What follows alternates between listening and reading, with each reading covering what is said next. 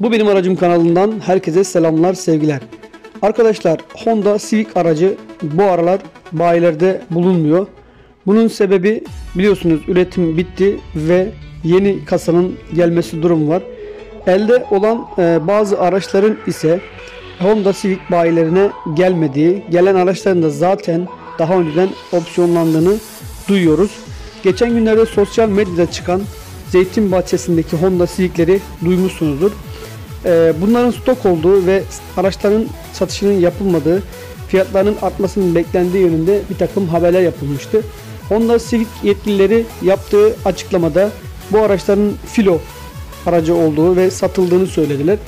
Ee, inanırsınız ya da inanmazsınız. Ben şunu söylemek istiyorum. Honda Civic filo aracı ben hiç görmedim.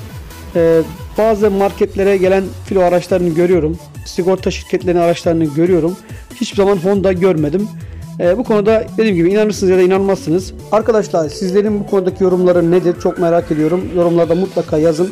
Bu şekilde de bir video hazırladım. Umarım izlersiniz. Yepyeni daha güzel videolarda görüşmek üzere. Herkese iyi günler diliyorum.